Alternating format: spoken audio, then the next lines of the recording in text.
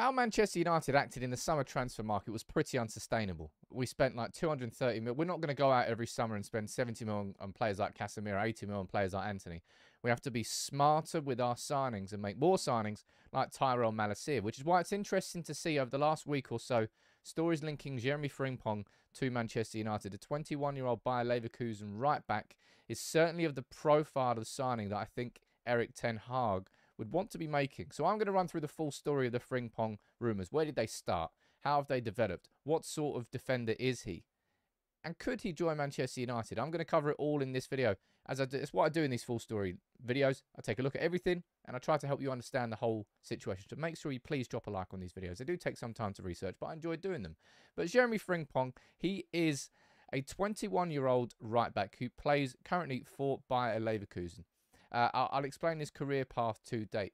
But he's somebody who, despite but despite Bayer Leverkusen right now being 16th, 15th, sorry, on the verge of the relegation zone in the Bundesliga, he is certainly catching the eye. Now, what I'm going to do now is give you the full story of how these links to Manchester United began. And they began with Florian Plettenberg, who writes for Sky Sports Germany. This was, what, four days ago saying, look, Frimpong, Next to other players, he is on the list of Manchester United. United want to sign a quality right back in the January transfer window. January, that's an interesting one there. At the latest in the summer. 21 year old is a key player for Leverkusen and has a contract until 2025. We go to the actual article over on Sky Sports Germany saying, look, there's no contact yet between Manchester United and his agents. He's got that contract until 2025. I didn't actually realise that Xabi Alonso just became their manager. Maybe they'd improve. But they're 15th in the table at the moment. So that's going to take a little bit of power away in terms of any sort of negotiation. Now, Fabrizio Romano's joined in, and he said that Manchester United have sent scouts more than three times to watch the performances of Jeremie Frimpong. They are following him, and they know him very well. A little bit more detail saying, look, there are multiple clubs interested in Jeremie Frimpong. He's been pre-selected for the Dutch national team, and he scored again at the weekend that current deal expires in 2025. Now, my first question is, what scouts are we sending to watch Jeremie Frimpong in action? We got rid of Jim Lawlor and Marcel Bout in the summer at this moment in time, unless appointments have been made behind the scenes quietly. We do uh, what? Who? Uh, what scouts are being sent? But Jeremie Frimpong, look, he's definitely you can understand the links between Manchester United and him. At least not for the fact that he's Dutch, so he ticks that box. I don't think we're going to be doing that as a sustainable approach forever. But again, until we know what Manchester United's new actual setup is, United have got to listen to Erik Ten Hag maybe a little bit more than they normally would when it comes to transfers and when it comes to suggestions of where to look. Now, Jeremie Frimpong is a player who started in the Man City. I don't know whether he started in City's academy, but he made, I think, over 60 appearances for their under 16s, 18s, 19s, and 23 team. And then he went from there, he went to Celtic, had a couple of good seasons at Celtic before he earned his move to Bayer Leverkusen. And that's where he's sort of been making a name for himself.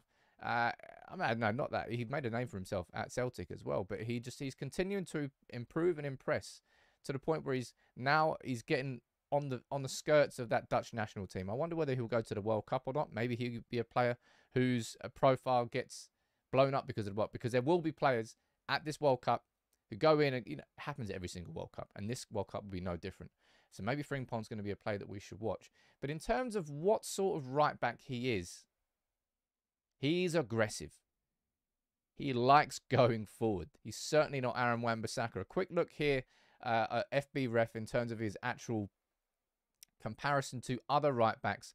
You know how these work. The, the higher the number, the better he is compared to other right backs in that position. And look, he's in the top 1 percentile for non-penalty goals, non-penalty expected assists.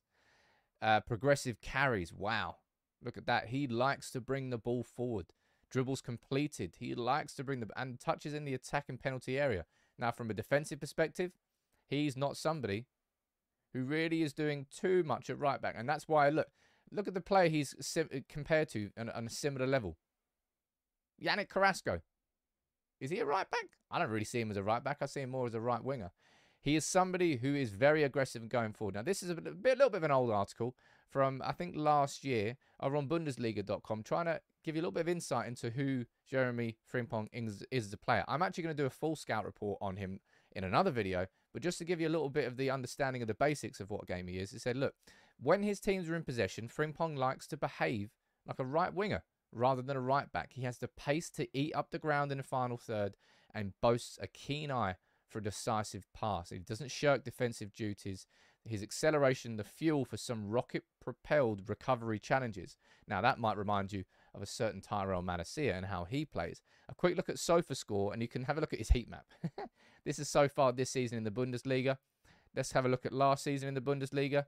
You can see this guy A hugs the flank, B loves getting forward. Look at that as well. In 2021 season, he was more as a right winger than he was as a right back. He loves going forward. Absolutely no doubt. And I, as I said, I think the, the comparison there to Malacia is interesting because it's a very similar profile to Tyrell Malacia.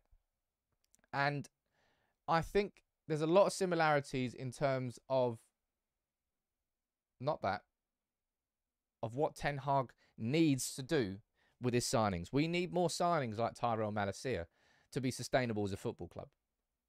As I said, look, we can't go every summer and try and do madness like signing Casemiro for 70 mil and signing Antony for 83 mil. It was a one-off in a summer where United didn't really have the structure in place to find those smart signings. But we as a football club need far more smart signings like Tyrell Malacia, which is exactly why I understand the links with this lad, Jeremie Frimpong.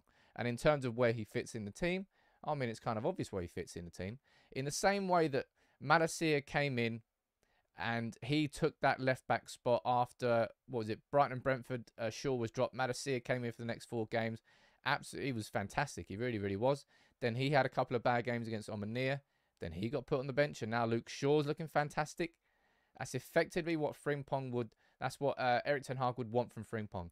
He'll be there. Wait, hypothetically, if we sign him in January, uh, Dalot would still be our first choice right back, but it would give Erik Ten Hag the opportunity to maybe take Dalot out of a game and bring Frimpong in. And he's somebody, as I said, who basically at this moment in time at Manchester United, if you were to take Diogo Dalot out of that starting 11, I don't know who the hell you play at right back.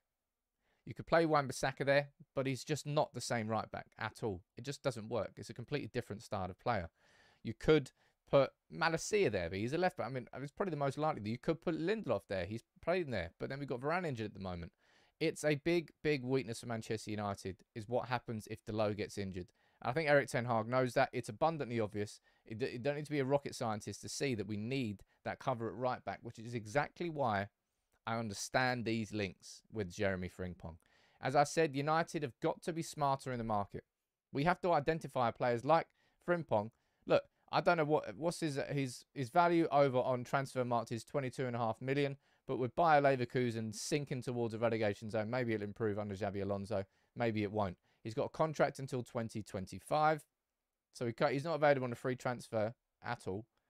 But it's you can understand the fact that United should be looking at him. Someone in the region of 20 to 30 million, you would imagine, would get the conversation started at the very, very least. And from a profile perspective, you can see where he ticks the box. That's not the right one. That's not the right one. Where is it? Is it that one? That's not the right one either. Oh my god, there's too many windows open. Where is it? Have I closed it? There we go. We got there. We got there in the end. You can see the sort of profile he is. Defensively, he lacks a little bit, but he's got good recovery tackles. Hmm, he's very good going forward. Hmm, likes to put it in the opposition's box. Hmm. It's the exact same sort of signing as Tyrell Malacia and he's made a very positive impact. And clearly, even if it doesn't work out with Tyrell Malacia, we will be able to sell him on for a profit in the future. And that's how we have to operate as a football club to change things. So that's the full story with the links of Frimpong United. Let's see what happens and how it develops. I hope this video has helped you understand a little bit more about the profile of the player he is, why it would be a smart signing, why you can understand why Ten Hag would be looking at him. But let's find out how it continues to develop. Maybe it won't happen in January, maybe it'll be more for the summer. And maybe he'll be one of those players that does end up going to the World Cup and his and his status goes up a little bit. You can let me know what you think about Frimpong in the comments below. Is that the sort of signings we need to be making more of? You can let me know. Make sure you drop a like on the video and subscribe if you're new. But Frimpong, this is an interesting one, I think. An interesting one. I, I would actually expect this one to develop.